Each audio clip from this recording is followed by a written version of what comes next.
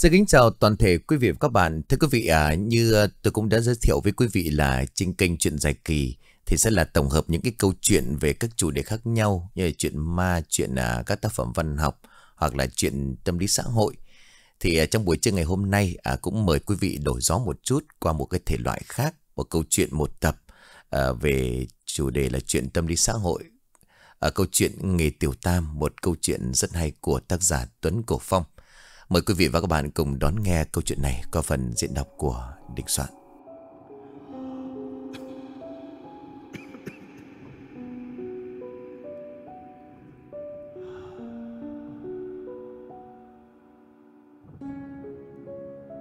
An là một người phụ nữ trẻ trung và duyên dáng, Một chuyên viên tài chính, tài năng, Làm việc trong một ngân hàng lớn Cuộc sống của cô tràn ngập màu hồng Nhận được sự ngưỡng mộ của những người bạn bè đồng trang lứa, Cô sở hữu một công việc tốt Với mức lương tạm gọi là ổn định Để sống tại một thành phố lớn đắt đỏ như Hà Nội. Anh thường xuyên đăng những bức hình check-in Tại những nơi mà cô đi qua Với những trang phục gợi cảm thời trang. Những bức hình mà cô đăng lên Facebook Luôn được nhận được hàng nghìn lượt like và khen ngợi. Em đẹp quá, Em có người yêu chưa? Anh có thể quen với em được không? Trong kho tin nhắn của cô tràn ngập những nội dung đưa đẩy làm quen của các chàng trai thuộc mọi lứa tuổi và giai tầng. Nhưng anh không hề quan tâm. Cô hay trả lời xã giao theo những kiểu Cảm ơn anh, anh quá khen rồi, à, em đâu được như vậy. Sau đó là những lời từ chối nhẹ nhàng nhưng không gây phản cảm. Đã gây thương nhớ cho không biết bao chàng trai. Nhưng cho tới nay 25 tuổi, Cậu vẫn chưa xác nhận công khai Một mối tình chính thức nào. Anh thích được người khác khen ngợi Vì vẻ đẹp, Sự thông minh duyên dáng của cô. Nhưng cô không thực sự thích một người nào cả. Cô có một sở thích lạ, Chỉ muốn chiếm và yêu thích những thứ người khác đang nâng niu ở trên tay. Nhớ năm lên tuổi trong một lần ba mẹ dẫn An đi chơi công viên và gặp gia đình trước là hàng xóm bởi chỗ cũ của gia đình An khi đó. Đứa bé hàng xóm được ba mẹ của nó mua cho một chiếc kem que, Chỉ có 8 ngàn đồng, Nhưng khiến cho cô cảm thấy đầy thích thú Và muốn chín leo làm của riêng.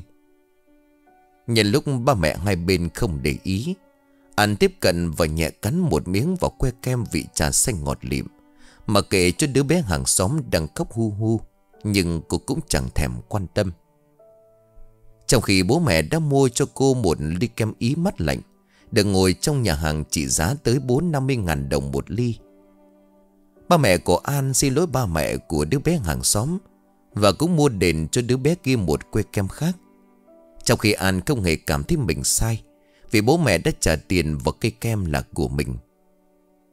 Cô ăn cây kem ngon lành trong sự hạng hy Bỏ ngoài tai những lời chia sẻ và nhắc nhở của ba mẹ Về hành vi không đúng đắn anh lớn lên từng chừng đã vơi bớt sở thích kỳ lạ.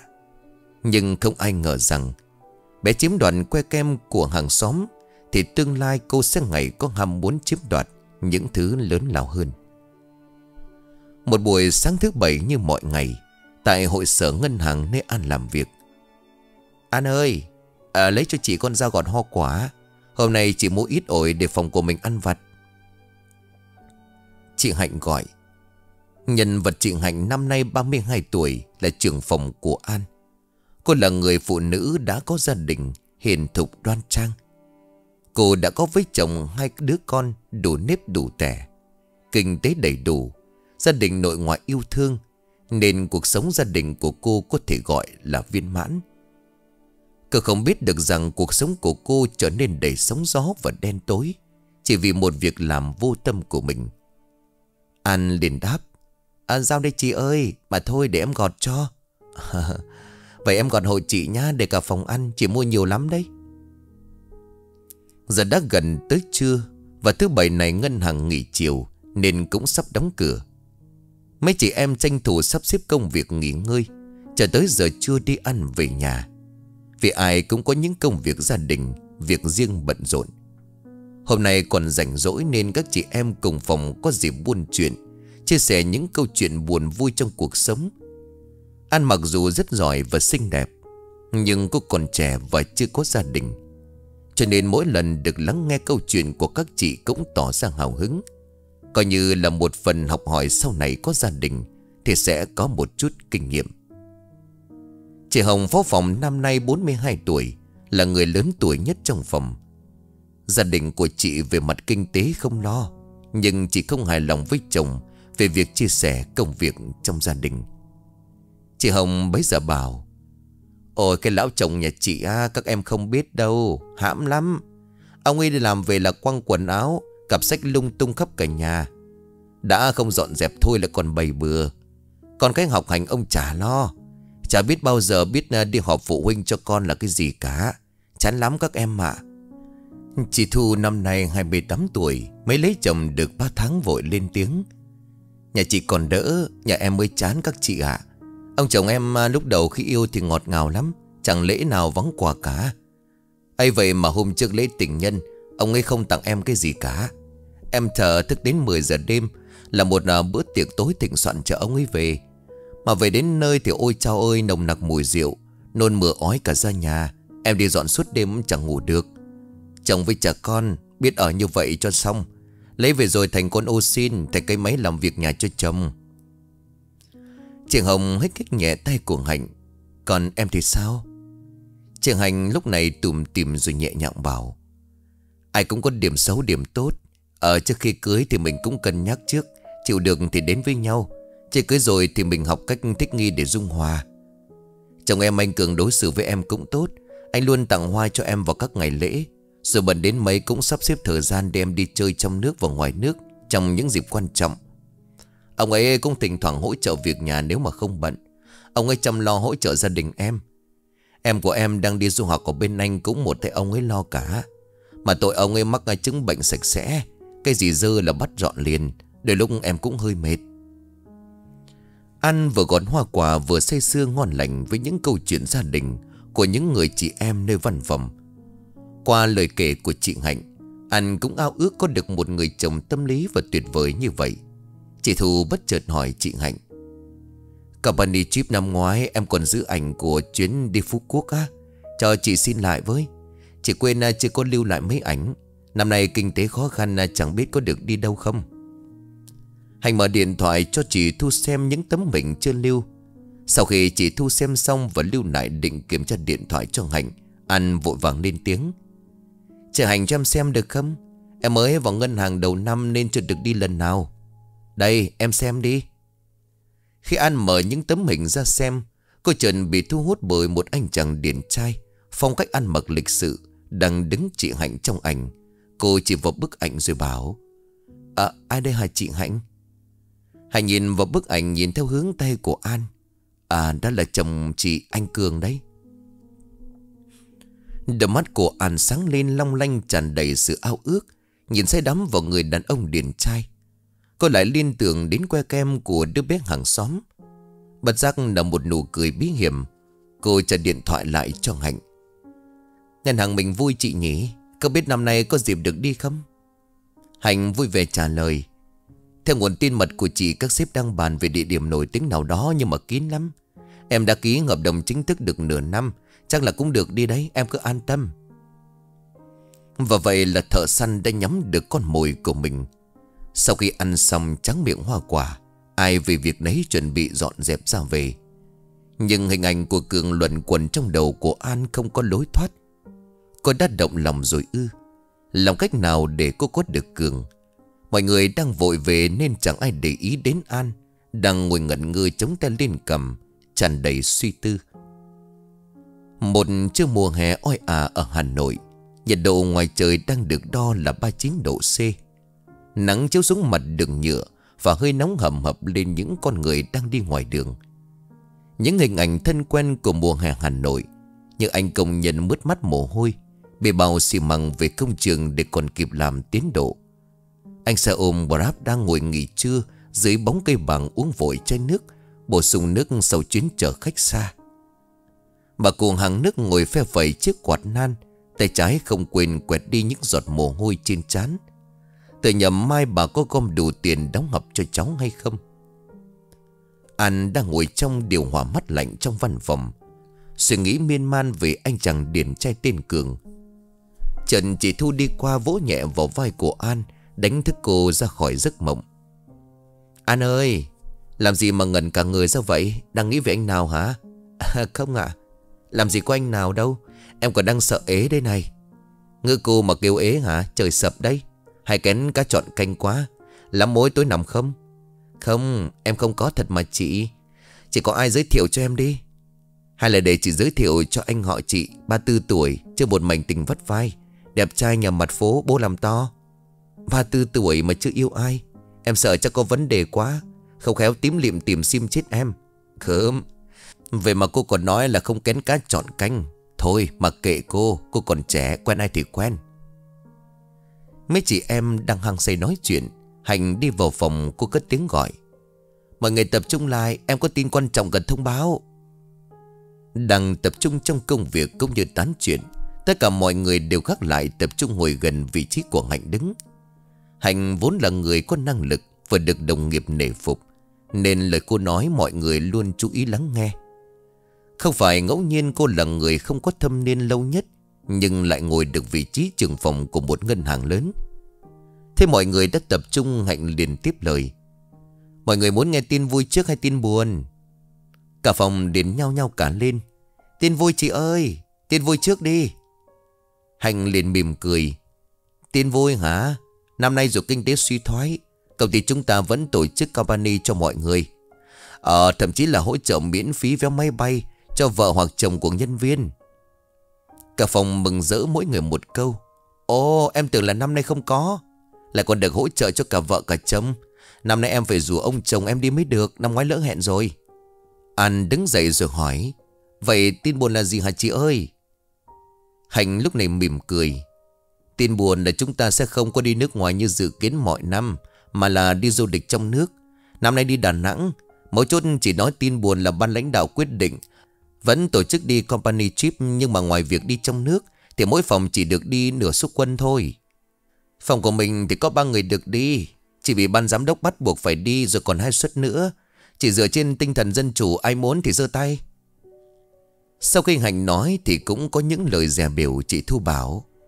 Tưởng năm ngoái trong nước, năm nay đi nước ngoài chứ. Đi Đà Nẵng thì ngày năm ngoái chị cũng đi cùng gia đình, Thôi nhường cho các em. Bên cạnh tiếng nói của chị Thu Cũng có ý kiến của một bạn nam nhân viên khác. Em chưa có gia đình, Với cả đợt công ty mình à, đi Thì em cũng à, xin nghỉ phép trước đó có việc bận, Nên em chắc không đi được đâu. Chốt lại có ba người đứng lên tranh xuất. Đó là Hồng An Bích, Một nhân viên nữ khác trong phòng. Giờ đóng góp và thâm niên lâu Hành đã chọn Hồng và Bích. Quyết định này nhận được sự tán đồng của đại đa số mọi người trong phòng. Tất nhiên ngoài An ra Cô cảm thấy rất bất công Rõ ràng trước đó Hành đã rào trước là cô có thể đi, Nhưng sao hiện tại lại thay đổi An cô nén cơn tức giận giao nhà vệ sinh rửa mặt cho tỉnh táo Sau khi rửa mặt, An xoay mình trong chiếc gương Cô càng ngắm vẻ đẹp của mình càng cảm thấy thỏa mãn An đánh lại màu son môi khi ăn trái cây trắng miệng. Chốt lại mascara và khẽ khàng đẩy mái tóc thuôn dài màu đen óng ả của mình ra sau. Cô bầm lại môi son bằng cách mím lại đôi môi và tự tin bước ra ngoài. hạnh không hề biết cơn ác mộng của cô đã sắp bắt đầu. Cái mà con người ta muốn thì chỉ cần tìm lý do, muốn là làm. Đó là cá tính của An. Bị gần ra khỏi danh sách đi và mất cơ hội tiếp cận với Cường Người mà cô Hằng ao ước Càng khiến cho sự ghen tị Mong muốn chiếm đoạt trong An được thôi thúc nhưng danh sách đã được thống nhất chọn. Làm thế nào để thay đổi cục diện trước mắt đây? Đi ra đi vào trước cửa căn phòng. An khó mà ngồi yên được khi tâm trạng cô đang thấp thỏm. Cô vô tình làm rơi chiếc bằng tên cài trước ngực xuống đất. An cúi xuống định nhặt thì một người đàn ông mà com lê xám lịch thiệp cúi xuống trước mặt và nhặt lên. Người đàn ông mở lời. Cái này là của em. Dạ vâng em cảm ơn anh. Người đàn ông nhìn cái bảng tên in tên cô rồi cảm thán. An, An trong An Yên Ở một cái tên thật đẹp. Người đàn ông trả lại bằng tên và mỉm cười với cô Đi tiếp về cuối dãy hành lang. Cô cũng không biết người đàn ông này là ai Và là khách hay là nhân viên của công ty.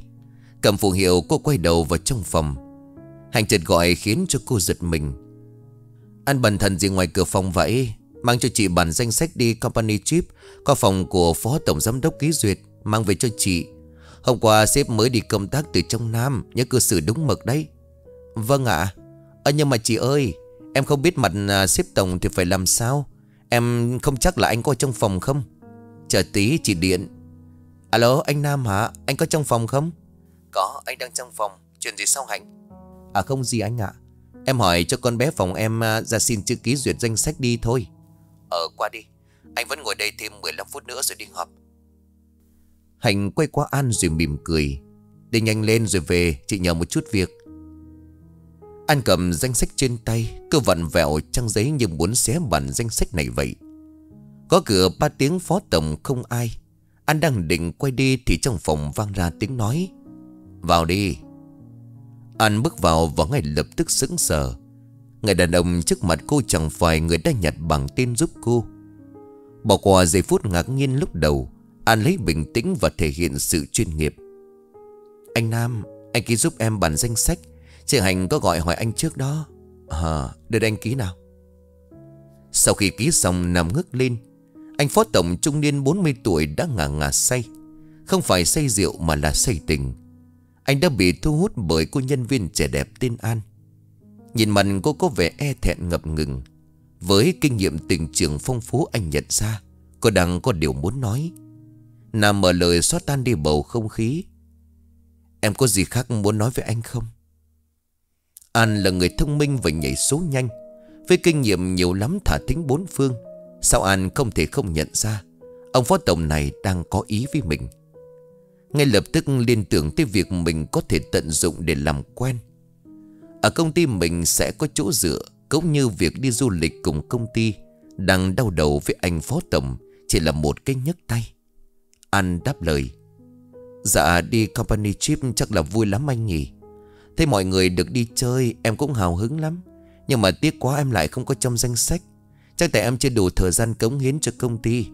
Em sẽ cố gắng hoàn thành thật tốt Để có thể có những cơ hội lần sau. Nhìn mặt cô thắng buồn Nam tỏ ra cưng chiều. Sự cống hiến cho công ty cũng không nhất thiết Ai làm lâu sẽ cống hiến cho công ty nhiều. Nếu em muốn đi anh sẽ tạo điều kiện chuyện nhỏ mà. Anh biết thời cơ của cô đã tới. Em cũng muốn đi nhưng mà danh sách chốt rồi. Công ty quyết định chỉ có nửa nhân viên.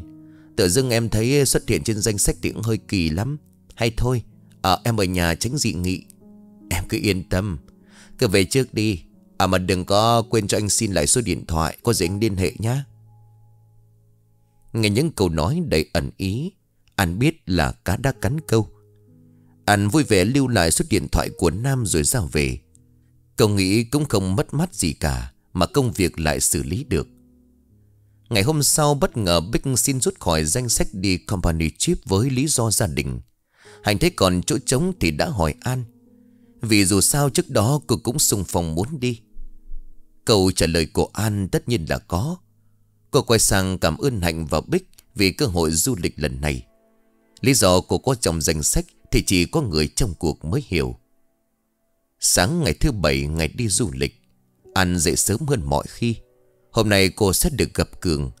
Cô đã đóng gói kỹ càng chuẩn bị từ hôm trước trang sức, mỹ phẩm, quần áo. Đặc biệt trong đó là một bộ đồ bơi gợi cảm chất liệu gen màu đỏ thẫm. Cô vừa trang điểm vừa ướm chiếc váy ngủ sexy, Chiếc gương càng nhìn càng cảm thấy ưng mắt. 9 giờ sáng, Toàn thể nhân viên có mặt tại sân bay Để làm thủ tục check-in Và đang xếp hàng để lên máy bay tại sân bay nội bài. Chuyến bay VN194 sẽ khởi hành từ Hà Nội đi Đà Nẵng. Khởi hành trên 2 tiếng do điều kiện thời tiết xấu, Mong quý khách hàng thông cảm. Hành đang đứng trong hàng chờ đợi thở dài. Lâu lâu mới thấy có một vụ Việt Nam Airlines chạy chuyến. Ngày gì đâu mà xui quá vậy. Chồng ơi, có mang kẹp tóc cho em không? Sáng em để trên kệ kính cho buồn rửa mặt, Anh đi vệ sinh sau. Em có bảo anh ra ngoài thì mang giúp em. Cường bấy giờ đáp, anh có mang theo, Mà quên ở trong xe. Bây giờ qua cổng an ninh rồi sao lấy lại được? Thế bỏ đi Xem ở sân bay có chỗ nào bán thì lượn một vòng mua. Hành và Cường đang định đi Thì An từ đằng sau tiến tới. Chị Hành ơi Em có kẹp tóc này Khỏi mua gì cho tốn tiền Ờ cảm ơn em Chị đi vệ sinh nhá Chờ em chồng nhá Trong khi Hành vội vào phòng vệ sinh An như tìm được cơ hội để tiếp cận Cường Ấn tượng đầu tiên của An về Cường ngoài đời thật là quá đẹp trai và chững chạc. Cường bành bao trong kiểu tóc xoay phát 30-70, một trong những kiểu cắt thịnh hành của giới trẻ. Mái tóc được Cường vuốt ve cẩn thận, gọn gàng. Chiếc áo polo ngắn tay trẻ trung khoe trọn được bầu ngực rắn chắc, để lộ ra đôi tay vạm vỡ đầy nam tính của Cường. Càng nhìn An lại càng yêu, cô nghĩ đến câu thơ trong chuyện kiều của Nguyễn Du. Người đâu gặp gỡ làm chi Trăm năm biết có duyên gì hay không Chưa đợi cô lên tiếng Cường đã mở lời trước Chào em Anh là Cường chồng của chị Hạnh À chào anh à Em là An, đồng nghiệp của chị Hạnh à. Mong sau này anh giúp đỡ em nhiều. Không có gì em mà. Đồng nghiệp của Hạnh, có gì An ở công ty giúp đỡ Hạnh giúp anh. Anh cảm ơn trước về cái kẹp tóc nha Dạ không sao anh. Chỉ là cái kẹp tóc thôi mà.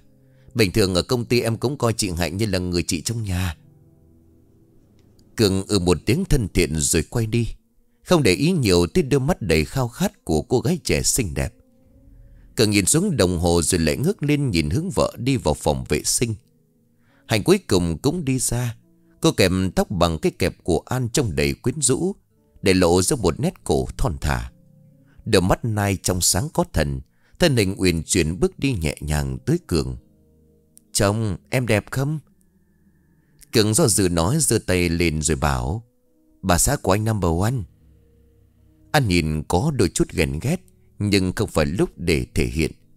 Cô chen vào bầu không khí ngọt ngào giữa hai vợ chồng. Còn gần hai tiếng nữa mới tới giờ bay.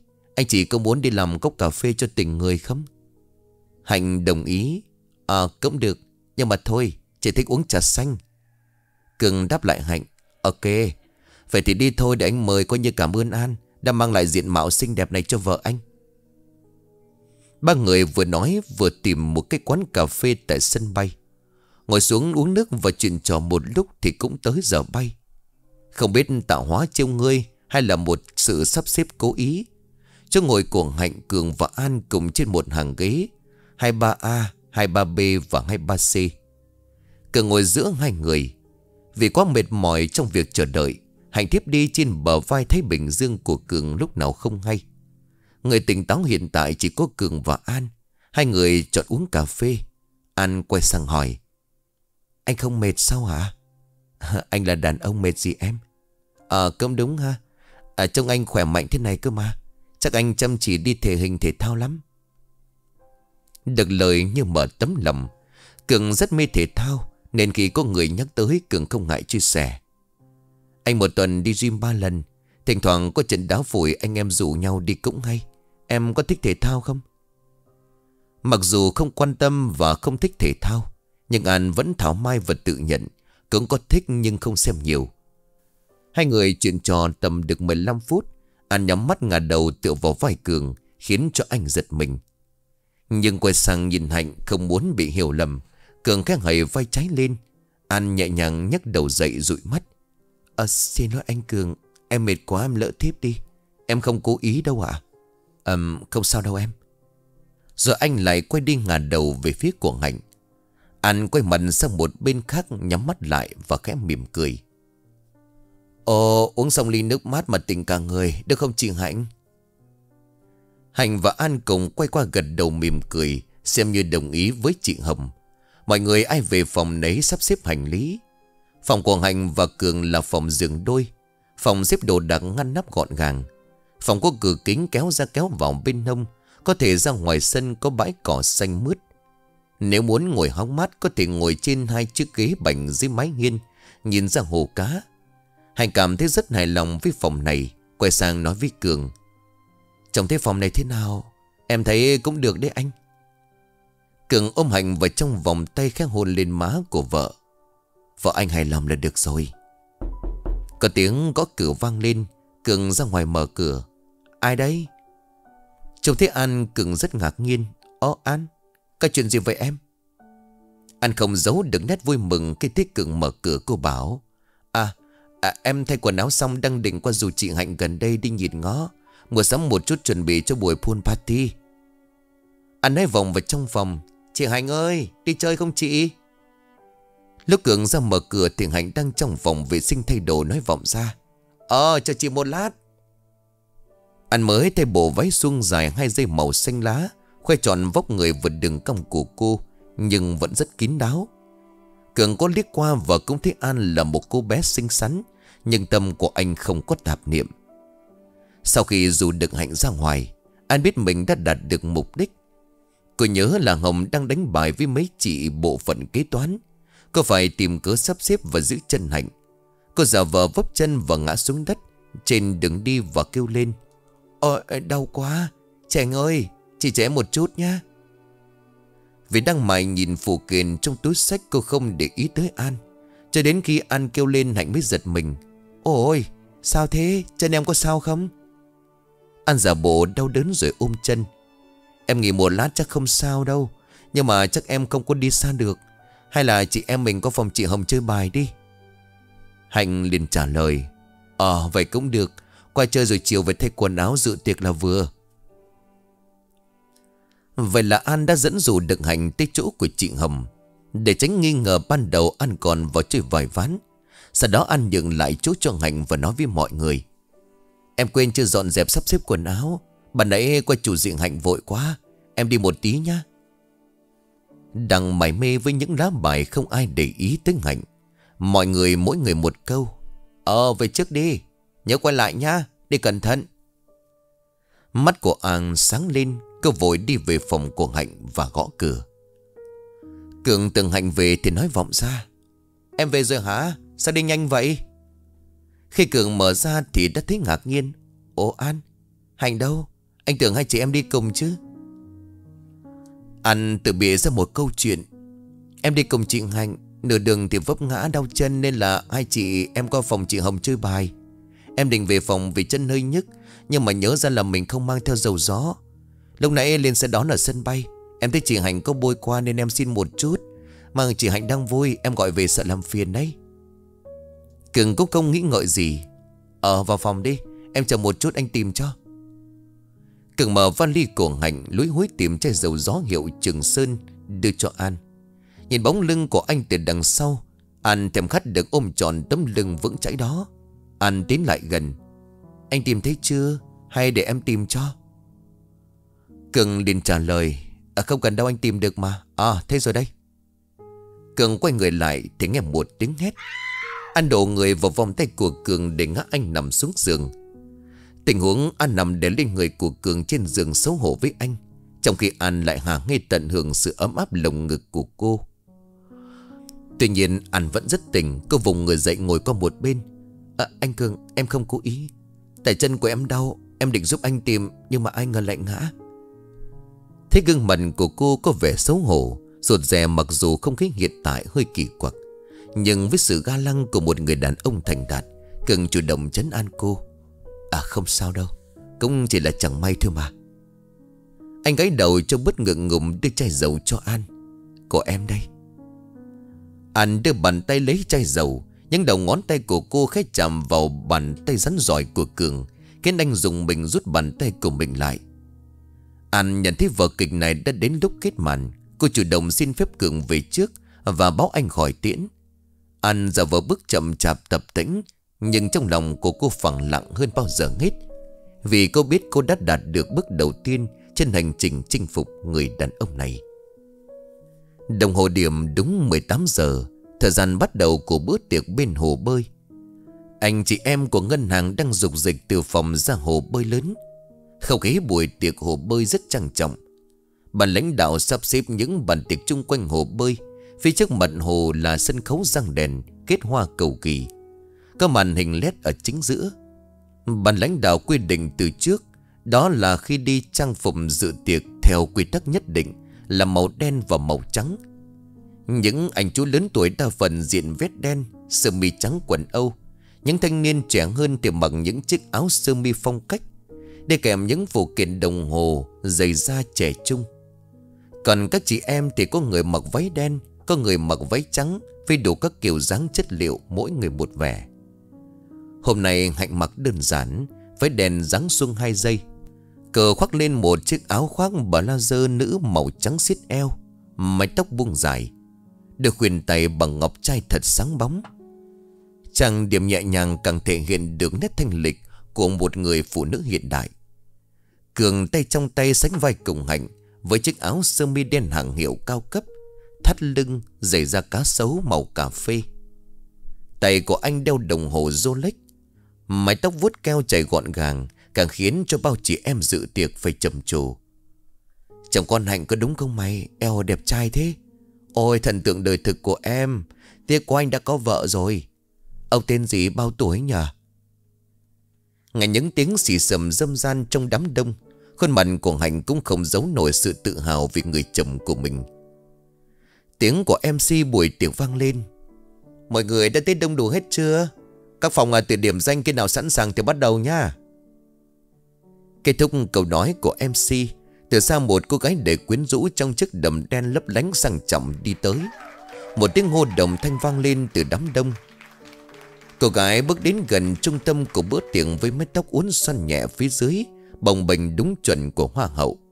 Đôi môi đỏ mọng mềm mại, Đôi mắt hút hồn, Khuôn mặt nhỏ nhắn được trang điểm tự nhiên, Hút hồn bao chàng trai. Cô gái đó chính là An. Không biết có phải là trùng hợp hay không, Cô cũng sử dụng bộ trang phục ngọc trai Với kiểu dáng gần như là nghệt của Hạnh. An bước tới chỗ Hạnh Và Cường đang đứng mỉm cười chào. Chị Hạnh chiều chơi bài có vui không? Em về sớm vẫn còn đau chân. Em có phòng chị lấy chai dầu rồi về shop bóp, Nên em cũng không quay lại. Hạnh cũng thoáng ngơ ngẩn trước vẻ đẹp của An. Ờ cũng vui lắm, Chân em còn đau không? Em đỡ rồi, cảm ơn chị Vinh Cường nha. Hạnh và Cường cùng mỉm cười. À không có gì đâu em. Lúc này tiếng của người MC trên sân khấu lại vang lên. Nếu mọi người đã tới đông đủ, Thì khai tiệc nào?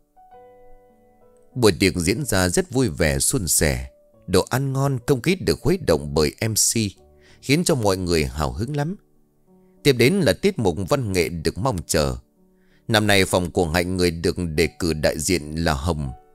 Nhưng hôm nay Hồng có uống nhiều nước đá do trời nóng cho nên bị đau họng không hát được.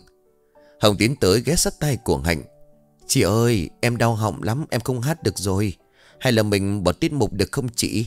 Bỏ sao được em? Phòng mình không có tiết mục thì bị chủ chết. Em cố gắng được không? Lệnh đấy không hát thì cũng hét. Em chịu thôi làm sao bây giờ chị nhỉ? Trong lúc Hồng và Hành đang đau đầu Cả hai không hẹn mà cùng gặp nhau quay quanh nhìn An. Hồng liền chắp tay cầu xin An. Hay là em giúp đỡ chị lên hát một bài được không? À, Không được đâu chị. Em hát dở lắm ấy. Mọi người không thích thì sao? Không ngại đâu. Em thích làm gì trên sân khấu cũng được. Chiếu là giao lưu thể hiện cho các sếp. Cũng có ích cho thăng tiến sau này của em đó. Cố lên, Phòng tin tưởng vào em đấy. An định từ chối Vì muốn đứng lâu hơn với Cường ở phía dưới. Nhưng một tia sáng lóe lên trong đầu của An Khiến cô nhận lời. Nếu mọi người tin tưởng, Em không có lý do gì mà lại không làm được cả. An nhẹ nhàng từng bước lên sân khấu Đầu mắt quyến rũ dõi về phía dưới sân khấu, Nhìn về chỗ Hạnh đang đứng. Nhưng ai biết được là cô đang nhìn ai. Dạ em là An thuộc phòng tín dụng. Sau đây em xin được trình bày tác phẩm Không thể cùng nhau suốt kiếp. Hình dáng xinh đẹp yêu kiều và giọng hát trong trèo của An Khiến bà con tìm phía dưới phải tan chảy. Đêm này là đêm sẽ đưa sự nổi tiếng của An trong ngân hàng tới đỉnh điểm. Xinh đẹp, hát hay, Trẻ trung, Mọi ánh hào quang hội tụ nơi cô gái trẻ. Tới nằm phó giám đốc đã để ý cô từ trước cũng không khỏi tim đập thình thịch đã lâu lắm kể từ khi vợ chồng anh ly thân, Anh chưa có được cảm xúc say nắng một ai. Anh chủ động đứng dậy. Mọi người cho An một tràng vỗ tay, phải không nhở Tiếng vỗ tay hò reo của đám đông Khiến An cảm thấy thỏa mãn. Cô liếc nhìn về Cường, Thấy anh cũng đang mỉm cười và vỗ tay. Tự nhủ lòng của mình bước thứ hai là đã thành công. Linh cảm của người phụ nữ khiến Hạnh chợt có chút bất an nhưng mà tiếng họ reo cổ vũ dưới sân khấu kéo Hạnh trở lại thực tại. Cờ cũng vỗ tay cho An và quay sang chồng của mình. Nhưng cũng không nói gì và tiếp tục hướng lên trên sân khấu. Bình minh ló dạng qua khung cửa sổ của căn chung cư. Tiền nắng len lỏi qua tấm rèm cửa vào trong, Chiếu vào mắt của Hạnh Cô chợt tỉnh giấc, nhìn thấy quen hàng ngày cô sẽ vòng tay qua ôm Cường chào cho anh một nụ hôn trên khuôn mặt đẹp trai của anh nhưng hôm nay thì lại khác. Cô quay sang ôm hụt, Không biết Cường đã rời giường từ lúc nào. Hạnh vẫn chưa tỉnh hẳn ngủ. Cô lết mình vào trong phòng để vệ sinh cá nhân. Cô bước ra ngoài phòng khách chứng kiến chồng của mình đang ngồi trên chiếc ghế bành ngoài ban công, Mà mỗi tối cô vợ chồng hay thư giãn chuyện trò. Tiến đến bên Cường, cô khét quẳng tay qua ôm cổ của anh, Rồi hôn lên má. Hôm nay mặt trời mọc đằng đông hay sao? Chồng em lại trở thành con ong chăm chỉ, Dậy sớm vậy. Cường ngước lên nắm lấy tay của Hạnh Rồi vỗ nhẹ an ủi. Chỉ là hôm nay anh có cảm hứng dậy sớm Vậy thôi. Hay là để em nấu gì ngon cho anh ăn được không? Sáng anh ra ngoài ăn phở rồi. Mới từ ngoài về rồi chiêu chiêu Ở ban công ngắm phố phường một chút. Chứ anh tới công ty bây giờ. Hôm nay là chủ nhật. Hành làm ngân hàng theo giờ hành chính nên được nghỉ. Cô dậy muộn hơn bình thường. Còn Cường là chủ của một công ty bất động sản có tên tuổi trong ngành Và bản thân sở hữu nhiều cửa hàng thời trang ở Hà Nội, Hồ Chí Minh. Nếu anh muốn thì ngày nào cũng là ngày nghỉ. Nhưng suy nghĩ của những người làm kinh doanh như Cường thì lại khác. Họ muốn kiếm được càng nhiều tiền hơn nữa Cho nên việc đi làm chủ nhật là chuyện thường. Đặc biệt Cường có mục tiêu riêng của mình anh muốn công ty bất động sản của anh ngày càng lớn mạnh hơn nữa Sánh ngang với các tập đoàn nổi tiếng trong nước. Chào tạm biệt Hạnh, Cường lái chiếc siêu xe thể thao Lamborghini tới dự án Mà công ty của anh đang nhận thầu khảo sát tiến độ. Một khu đất vàng mà anh đã phải bỏ những cái giá lớn để đi quan hệ Bồi trơn nhiều cho nên mới được. Anh đặt tất cả tâm huyết của mình vào đây, Thậm chí là vay nợ ngân hàng nghìn tỷ đồng. Nhưng anh không chia sẻ với Hạnh để tránh cho cô lo lắng Vì anh biết cô vốn là người cả nghĩ. Sau khi xong việc, Cường không về nhà ngay Vì anh nhận được một tin nhắn. Hôm nay anh có rảnh không, Cường? Đọc tin nhắn của người phụ nữ bí mật gửi đến, Cường bất giác cười say mê. Anh mới đi công việc về Tôi anh cũng chưa có kế hoạch gì. Người phụ nữ ở đầu dưới bên kia nhắn lại. Vậy anh có thể dành chút thời gian cho em được không? Em có chuyện muốn chia sẻ cho anh. Chỉ mình anh không đi cùng chị Hạnh được không? Trong tin nhắn, người phụ nữ cố tình viết hoa tên vợ của anh. Ờ vậy để anh gọi về báo nhà. Chúng ta gặp nhau ở đâu mấy giờ? Một dòng tin nhắn ngắn gọn được gửi lại từ đầu dưới bên kia. Lotter Sky Bar 19 giờ. Tiếng nhạc chung điện thoại kêu trong khi Hạnh đang chuẩn bị cơm chiều cho Cường. Cô nhấc máy rồi hỏi trước. Alo chồng Hà Mấy giờ anh về em đang nấu cơm sắp xong rồi? Cường nghe vậy thì đáp. Anh có một buổi hẹn đi giao lưu với khách hàng. Chắc là muộn anh mới về đấy. Em cần cơm trước nhá. Hành cũng cảm thấy bình thường. Vì thỉnh thoảng Cường cũng hay đi tiếp khách. Cô chỉ tiếc cho nồi chuối đầu ốc mất cả buổi chiều hì hộp nấu cho chồng Nhưng anh lại không về ăn. Không sao công việc mà anh Anh cứ đi đi hả? Hai ngồi một mình với mâm cơm Đưa từng miếng chuối xanh đan ninh như chậm rãi lên miệng Cảm nhấm tư vị của nỗi cô đơn. Sáng cô có gửi con sang nhà ông bà ngoại Để dành bữa tối riêng tư, Hâm nóng tình cảm cho hai vợ chồng. Nhưng đúng là nói trước bước không qua. Đâu có biết được sự bất ngờ Và đã chuẩn bị dành ở nhà cho anh. Cường hiện tại đang ở lốt tờ liễu sai Đồng hồ điểm đúng 19 giờ tối, Anh nhấc máy lên gọi người phụ nữ nhắn tin lúc chiều. An à em tới chưa? Người phụ nữ đứng nhìn Cường từ đằng sau lưng, Bước tới anh khi chỉ còn cách 3cm Cô liền cất lời. Anh quay lại đằng sau đi. Cường giật mình quay lại, Anh không biết An đã đứng đằng sau từ bao giờ. An vô cùng quyến rũ Trong chiếc đầm đỏ chất liệu sen kiểu dáng cúp ngực. Đôi môi đánh son đỏ đậm Nổi liền sống mũi cao. Đôi mắt bồ câu nhìn thẳng vào ánh mắt anh. Khiến Cường không khỏi nuốt nước miếng. An lúc này khẽ hắng giọng. Anh nhìn gì vậy? Cường nhìn cô như là si mê. Tất nhiên là nhìn em rồi. Hôm nay em đẹp lắm. Chúng ta lên Skypa thôi. Cường và An dắt tay nhau lên tầng 65 của tòa nhà lốt thờ. Mỗi người gọi một ly cốc thai nhâm nhi. Ngắm cảnh thành phố từ trên cao. Bầu trời đêm Hà Nội lung linh huyền ảo với ánh đèn đủ sắc màu. Khiến không khí của những đôi trẻ tới đây nghẹn hò, Nhận được tăng thêm một thứ gia vị đặc biệt. Cường lúc này liền mở lời. Đêm Hà Nội nhìn từ trên cao xuống thật đẹp, phải không An? An liền nhẹ giọng rồi đáp. Lâu lắm rồi không có được lên đây. Từ cơ hội đi với lũ bạn đại học Chắc cũng tầm 5-6 năm. Nhưng mà em chưa bao giờ đi riêng với một ai tới đây cả. Không khí lúc đó và bây giờ khác lắm. Cường lúc này liền truy vấn. Khác là khác thế nào kể anh nghe. Anh liền đáp um, thì trước đây em đi một mình Bây giờ em có anh đó. Hai người nhìn nhau mỉm cười Chồng nhớ lại thời khắc xuân tiêu ngàn vàng ngắn ngủi nửa tháng trước Tại dịp cùng đi company trip. Quay ngược thời gian về đêm thứ bảy định mệnh Hành tham gia buổi tiệc bể bơi rất nhiệt tình Cô đi giao lưu với các sếp và các trường phòng bàn. Cậu uống khá nhiều nhưng phòng kế toán và phòng marketing vẫn rủ đi tăng hai.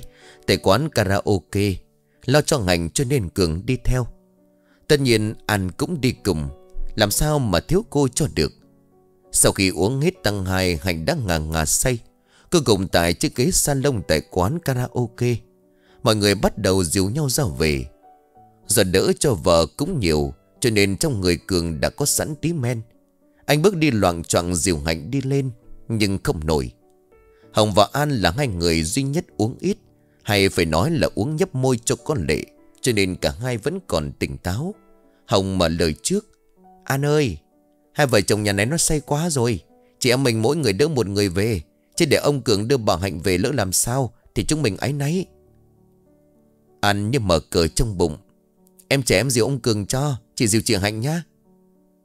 Hai chị em phần cầm đâu vào đó rồi ra gọi taxi.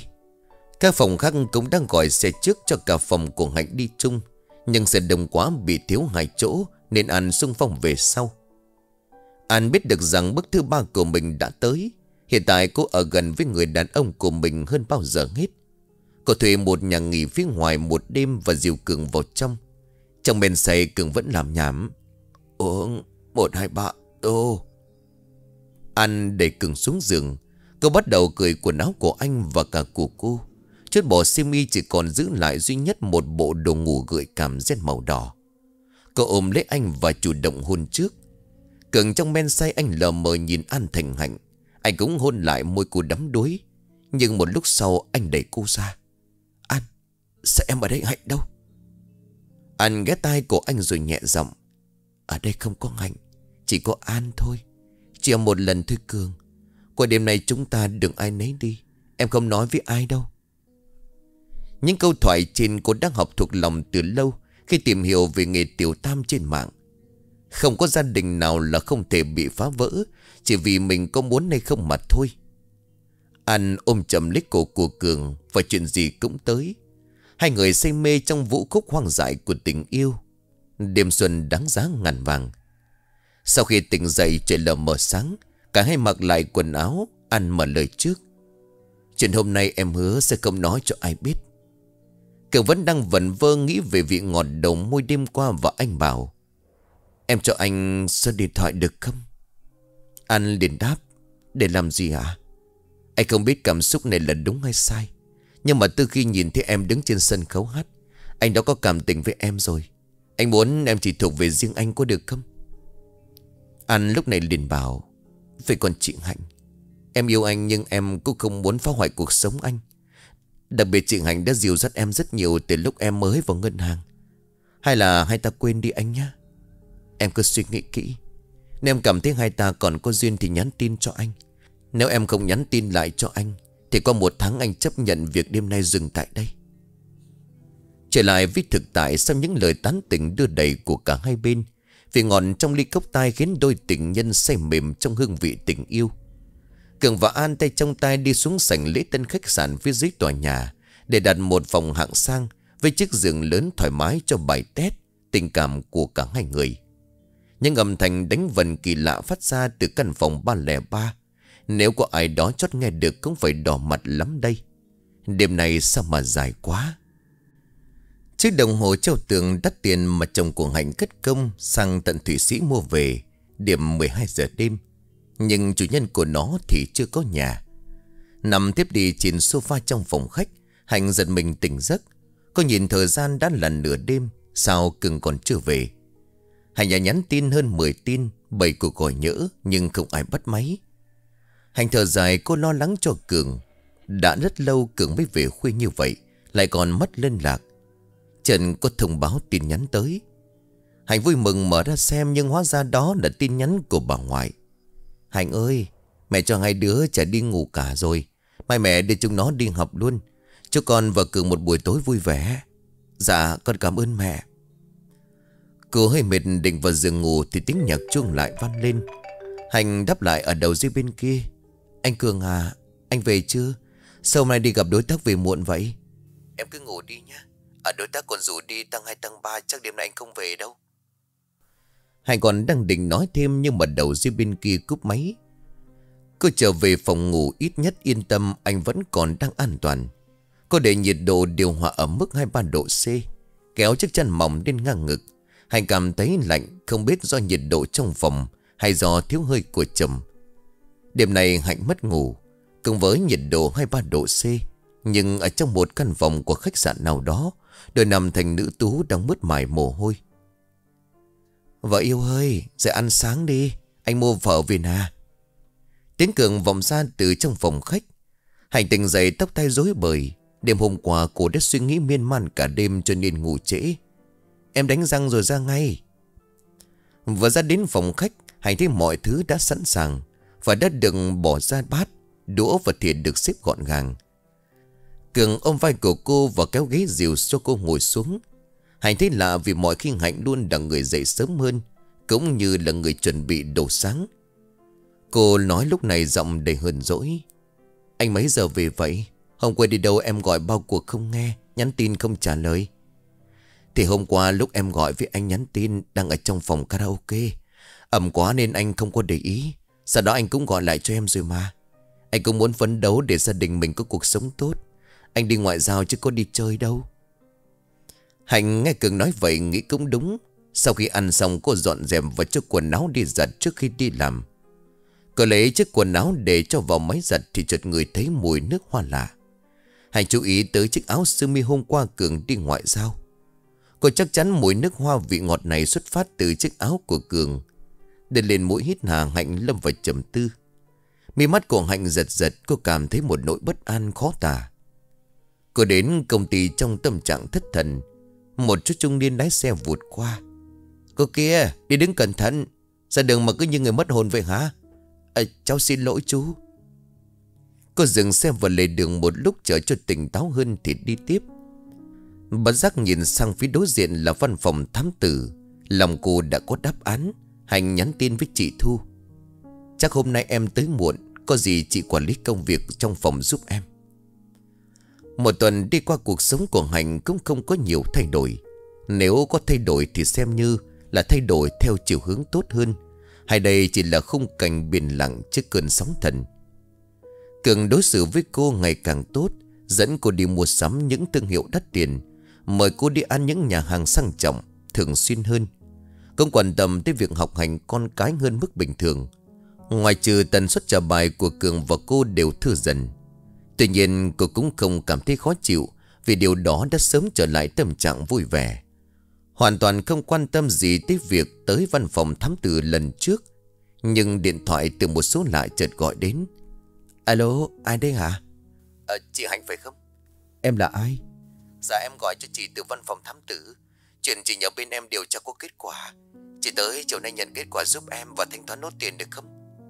Chắc là chị không cần đâu em ơi Hay là chị chuyển khoản thanh toán nốt số tiền còn lại cho các em được không? Ờ, hay là chị cứ qua đi. Có những chuyện bên em nói qua điện thoại không không có tiền đâu. Chỉ cứ qua rồi quyết định giúp em. Bên em cũng phải có đạo đức nghề nghiệp Đã làm thì phải làm cho tới nơi tới chốn. Ờ thế thì chiều chị qua.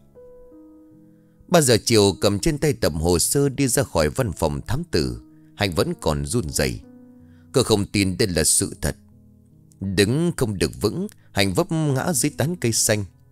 Một cô gái trẻ đi qua đỡ cô dậy ngồi trên ghế, Khi thấy khuôn mặt thất thần của Hành Chị ơi, chị có sao không? Hạnh im lặng một lúc, cô quay sang cảm ơn cô gái trẻ và đi thẳng về nhà. Giờ này còn tâm trạng làm nổi việc gì nữa. Cứ không muốn quay lại văn phòng và đối mặt với An, Người chị em đồng nghiệp thân thiết. Nâng niu ngắm nghía trong tay ly rượu vang pháp trên bàn ăn thì Cường gọi về. Vợ yêu à Tối nay anh Đại đi tiếp khách có thể về muộn. Em cứ ngủ trước nhá khỏi cần chờ anh. Thế đầu dưới bên kia mở máy nhưng không đáp Cường lại tiếp. Alo Vợ ơi có nghe anh nói không? Hành nhàn nhạt, nhạt đáp. Ờ anh đi rồi về sớm nha Cô cúp máy trước Cường. Đây là lần thứ tư trong hai tuần.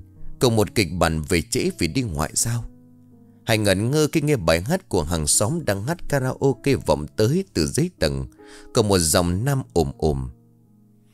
Tưởng tượng hình ảnh của Cường và An bên nhau, Hành đau xé lòng cô gọi điện tâm sự với cô bản thân từ hồi còn học đại học. Xuân khuyên nhủ và an ủi Hạnh nhiều Cô cũng hướng Hạnh nên nghĩ về tương lai của các con, Nên giành lại chồng tới tay Tiểu Tam, Thay vì ngồi đó đau khổ một mình. Điều quan trọng nhất là Hạnh còn rất yêu Cường. Và với sức mạnh của một người mẹ hai con, hãy quyết định ngày mai sẽ nói chuyện với An, Chiến đấu với cô để giành lại bố về cho hai con. Sáng hôm sau, Cường về nhà sớm như thường lệ. Hạnh ơi, Anh mua bún bò cho em này ra ăn thôi. Căn nhà trống không, Chỉ có những tiếng mèo kêu đáp lại. Anh không biết Hạnh đã đi từ sớm Và hẹn ăn qua quán cà phê gần công ty. Anh vẫn hồn nhiên không biết tự dưng Hạnh gọi mình ra sớm làm gì. Vì sếp gọi thì ra thôi. Bước vào quán cà phê tiếng Hạnh ngồi chờ sẵn, An tiến tới. Em chào chị, Hôm nay hẹn em sớm vậy, có chuyện gì không ạ? Em uống gì? Dạ em đang giảm cân Chỉ cho em ly bưởi ép đi. Em ơi, cho chị một ly cam ép và một ly bưởi nhá. Khi nước được mang ra, Hai chị em mỗi người uống được một hớp nước Thì An liền hỏi. Chị Hạnh à Dạo này em thấy chị xanh xao quá. Chị cảm thấy sức khỏe thế nào, Chị có đi khám chưa? Trước những câu hỏi thăm dồn dập của An Khiến Hạnh càng cảm thấy khó chịu. Cô không kìm được cảm xúc của mình nữa. Bệnh của chị là do em chứ ai? Ờ em? Chị nhầm lẫn gì không ạ? Em không biết em say ở đâu. Hạnh quang những tấm hình thắm từ chùm Cường và An. Lý do của em đây. Em không sai, chắc là chị là người sai. Những tưởng An sẽ cảm thấy xấu hổ và ngạc nhiên Khi thấy những tấm hình. Nhưng đáp án hoàn toàn ngược lại. Cô ngước lên nhìn Hạnh để ẩn ý Và cất lên một tông giọng thách thức. Em thấy em không sai gì cả. Chỉ phải đi hỏi người đàn ông chứ. Nếu gia đình chị hoàn hảo, Không kẽ hở, chị tốt, chị đẹp, Thì đằng nào chồng chị đi tìm người phụ nữ khác? Hạnh nghe vậy thì bức xúc. Anna, Chị không hiểu được một cô gái trẻ có học thức như em. Là có thể phát ngôn được câu như vậy đấy. Với điều kiện của em, Thì thiếu gì đối tượng chứ? Tại sao em phải chen chân vào cuộc sống gia đình của chị? Tại sao lại là chồng của chị hả? Anh bình tĩnh trả lời. Tại sao không phải là chồng chị? Vì tôi thích thì tôi làm thôi. Câu trả lời đó có khiến chị hài lòng không? Anh đứng dậy và chợt nhớ gì trước khi bước đi, Cô quay lại để trả lời nói cho Hạnh. Mà chị thường ngay cái giọng dậy đời tiểu tam này, tiểu tam kia. Trong cuộc tình, ai không được yêu mới là người thứ ba, là tiểu tam, hiểu không? Thế An đi ra hành xứng sở, không hiểu chuyện gì. Cô em đồng nghiệp vốn ngoan hiền hiểu chuyện, Tại sao lại đột nhiên thay đổi nhiều tới vậy? Hành đứng dậy đi lên định trả tiền ly nước cam rồi về, Nhưng nhân viên lại gọi, Chị ơi, Cô chỉ một ly cam ép, Một ly bưởi ép 100 ngàn. Vậy cô kia đi ra không trả tiền em hả? Không ạ, Mà ly bưởi đắt hơn vì có thêm thạch nha đam. Sao lại có một người chưa chén vậy chứ? Hạnh lầm bầm Thế nên người ta mới có câu nói Giò sông giò biển dễ dò Mấy ai lấy thước mà đo lòng người. Hạnh bốc máy gọi cho Cường. Alo anh Cường à tên này về sớm em có chuyện muốn nói với anh. Ờ để anh thu xếp em nhé Đã từ bao giờ cách xưng hô giữa hai vợ chồng thay đổi Không còn là vợ yêu, chồng yêu Mà gọi thẳng tên của nhau. Còn có thể Cường đang nghe được điều gì đó từ An. Trên bàn cơm gia đình Hạnh và Cường Từ lúc Cường về chưa nói với nhau câu nào. Con trai lớn của Hạnh năm nay 6 tuổi lên tiếng. Mẹ ơi, con muốn ăn đùi gà rán. Hạnh gấp cho con Ờ cửa con đây ăn đi. Ngoan rồi vào trong phòng đóng cửa lại, Chơi một chút rồi ngủ sớm, mai còn đi học. Hành xoa đầu anh lớn Cũng như xúc ăn cho em bé mới 3 tuổi Và cho chúng đi ngủ xong.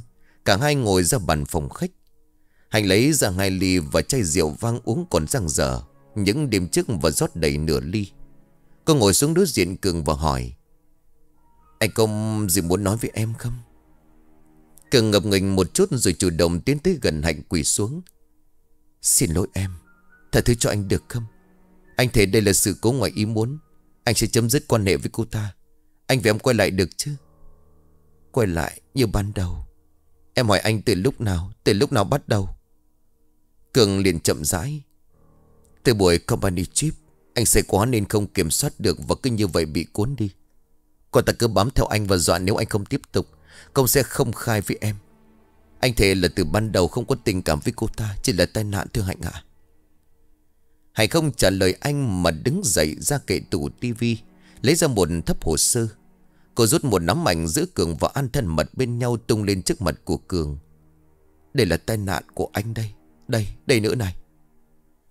Những tấm ảnh rơi xuống khiến cho cô liên tưởng tới sắc pháo hoa trong đêm giao thừa.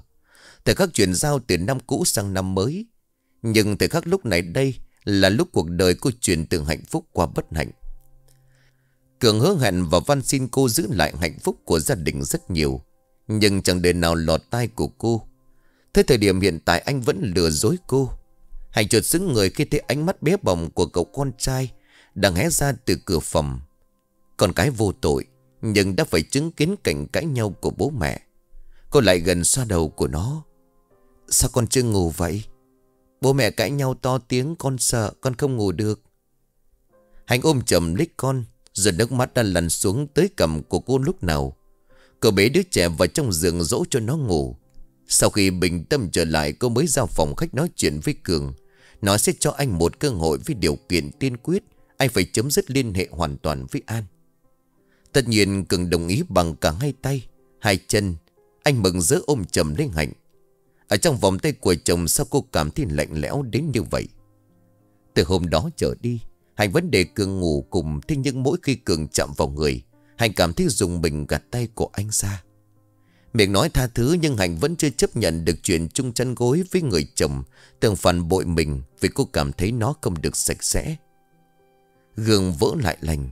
Làm sao mà vỡ thành nhiều mảnh rồi có thể lành lại như chiếc gương ban đầu? Những vết keo dán, những mảnh vỡ để lại dấu vết, Dù rất ít, Nhưng nếu chầm chú nhìn vẫn có thể thấy được.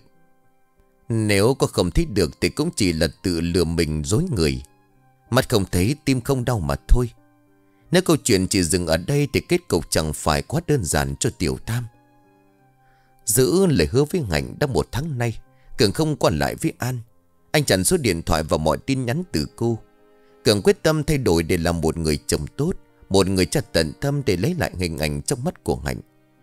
Những tưởng cuộc sống gia đình cô êm đềm trôi qua như vậy, cho tới khi một biến cố lại phát sinh. Sau nhiều lần không liên hệ được với Cường An đã nhiều lần tìm tới nhưng bị Cường tránh mặt.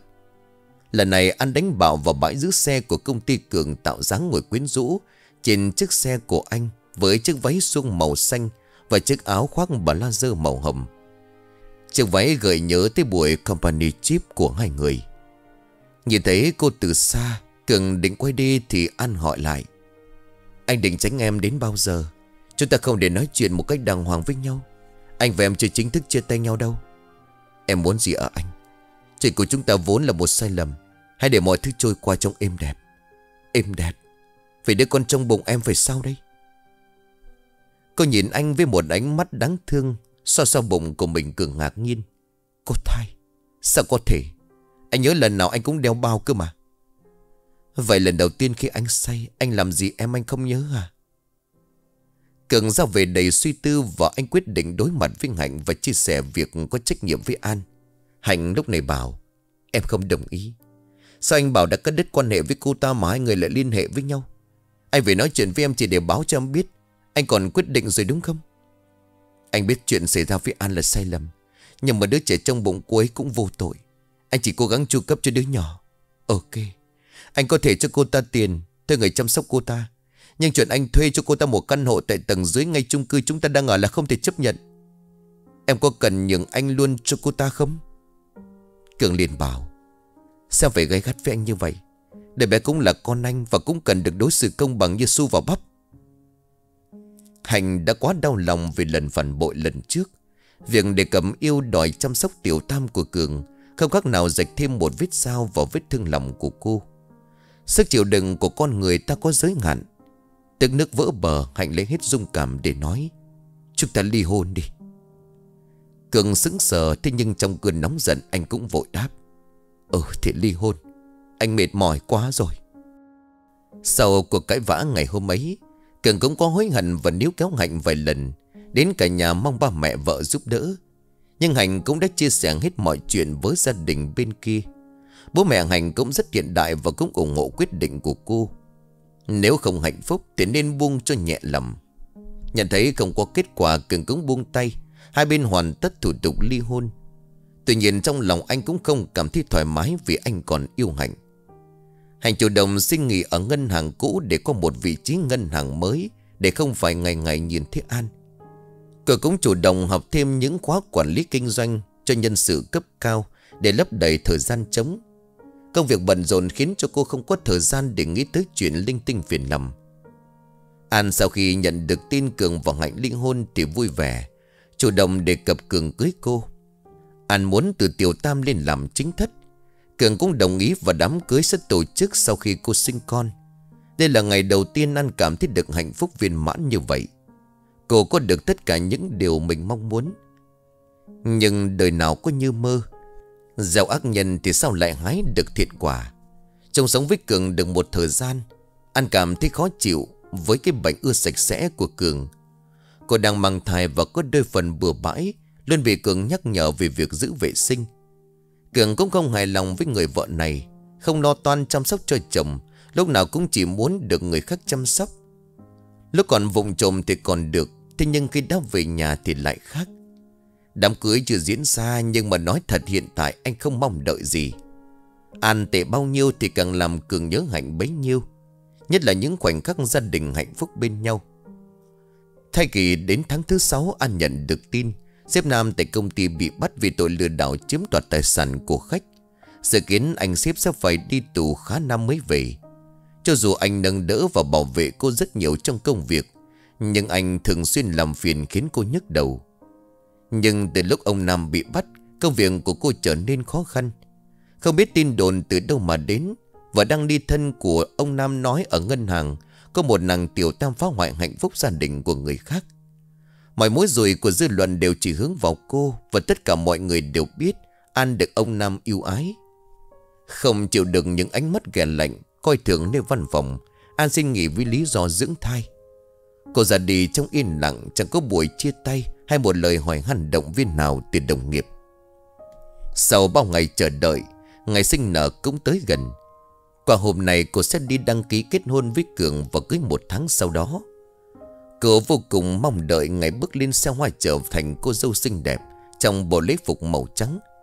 Cô tưởng tượng tới lúc hai người trao cho nhau nụ hôn Và lời thề ước trăm năm trước bãi biển. Bước ngoặt cuộc đời của An cuối cùng cũng đã tới. Nhưng chẳng phải kết cục đẹp đẽ như cô Hằng mơ ước. Bé sinh ra mắc chứng thiếu máu bẩm sinh. Cần phải được chuyển máu gấp Bác sĩ nói với Cường. Anh có phải là người nhà của bệnh nhân An? À tôi là chồng sắp cưới cô ấy. Tình hình vợ tôi thế nào? Và anh không sao đã sinh một bé trai nặng 3 cân. Tuy nhiên đứa bé được chẩn đoán là mắc bệnh thiếu máu bẩm sinh trầm trọng Cần truyền máu gấp.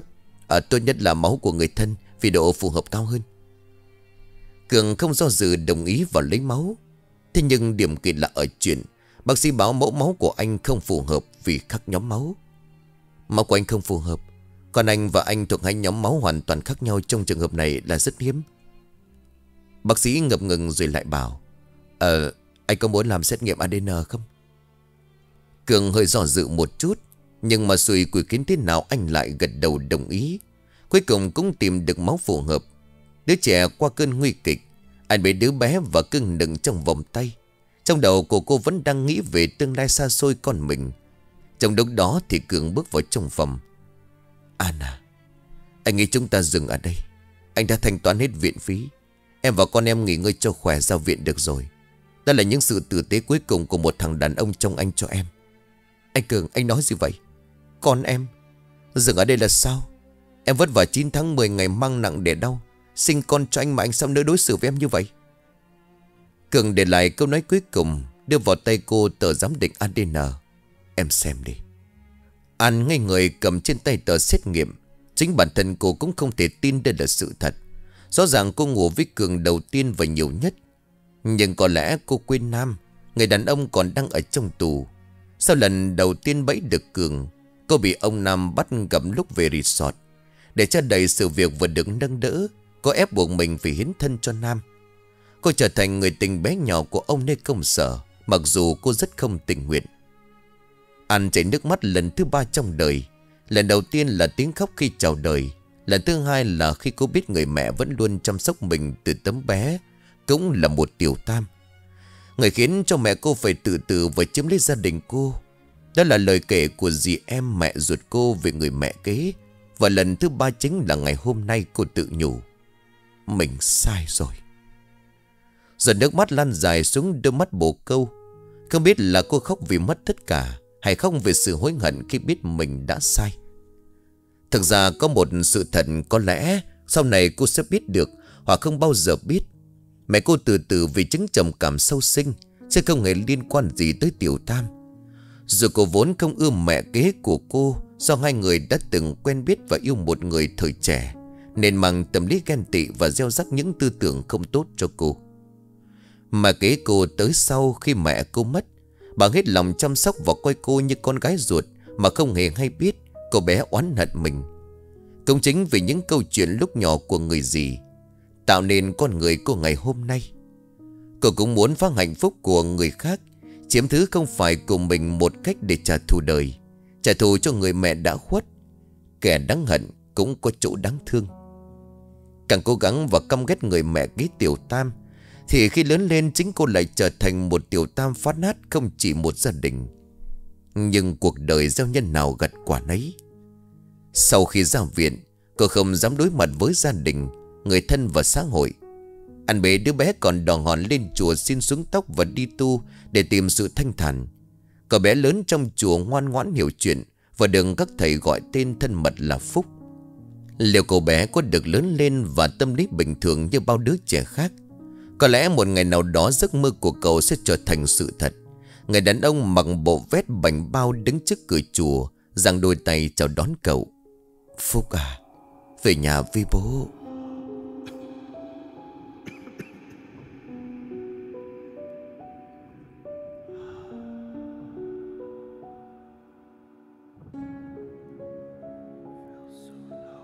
Xin cảm ơn quý khán thính giả đã chú ý đón nghe. Xin kính chào, tạm biệt quý vị Và xin hẹn gặp lại quý vị và các bạn Trong những câu chuyện tiếp theo.